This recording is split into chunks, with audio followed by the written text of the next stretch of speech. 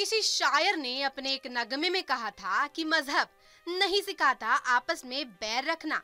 हिंदी है, हम वतन है, हिंदुस्तान हमारा। लेकिन लगता है भारत के ही कुछ लोगों को ये नगमा कभी रास नहीं आता। हम ऐसा इसलिए कह रहे हैं क्योंकि नोएडा के एक मंदिर में ऐसी घटना हुई है, जहाँ सारा भाईचारा तार तार होता हुआ दिखाई दे रहा है। दरअसल, खबरों के मुताबिक उत्तर प्रदेश के नोएडा के एक मंदिर में तोड़फोड़ का मामला सामने आया है।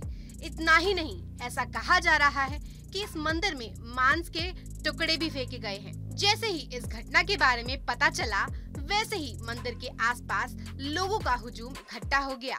मौके पर भारी पुलिस बल को तैनात कर दिया गया। कांग्रेस पार्टी के पश्चिम उत्तर प्रदेश के अध्यक्ष ओमवीर यादव ने इस घटना का वीडियो शेयर किया है। उन्होंने लिखा, आज कुछ असामाजिक तत्वों ने गाँव बहलोलपुर सेक्टर तिरसठ ए नोएडा स्थित शिव मंदिर में घुसकर शिवलिंग पर मांस चढ़ाया और मूर्तियों को तोड़कर बेशर्मी का नंगा नाच किया। सौहार्द को बिगाड़ने की कोशिश की। मंदिर पर हज़ारों लोग मौजूद हैं, व तनाव की स्थिति है। इस वीडियो में पुलिस कर्मियों से कुछ स्थानीय लोगों को बहस करते हुए सुना जा सकता है। बाहर श्रद्धालु मौजूद है। मौके पर मूर्तियाँ टूटी हुई दिखाई दे रही हैं। मंदिर की स्थिति अस्त व्यस्त दिखाई दे रही है। शिवलिंग को तोड़कर अलग रख दिया गया है। वीडियो बनाने वाले से पुलिसकर्मी कहता है, बाद में कर लेना, मैं एविडेंस जुटा रहा हूँ। धक्का मुक्की मत करो। ये मैं मैं एविडेंस यार कलेक्ट कर रहा हूँ। तुम बाद में कर लेना। अरे तुम कर लेना यार।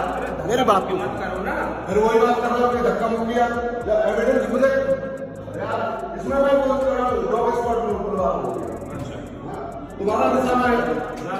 ये बात सही है। एक अन्य वीडियो पर मौजूद एक श्रद्धालु ने बनाई है। वो मंदिर की पूरी स्थिति को अपने कैमरे में दिखा रहा है।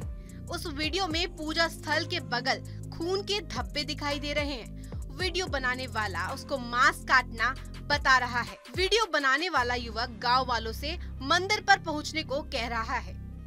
नोएडा पुलिस ने भी इस घटना की पुष्टि करते हुए लिखा, पुलिस बल मौके पर है। घटना की जाँच और ज़रूरी कार्रवाई की जा रही है।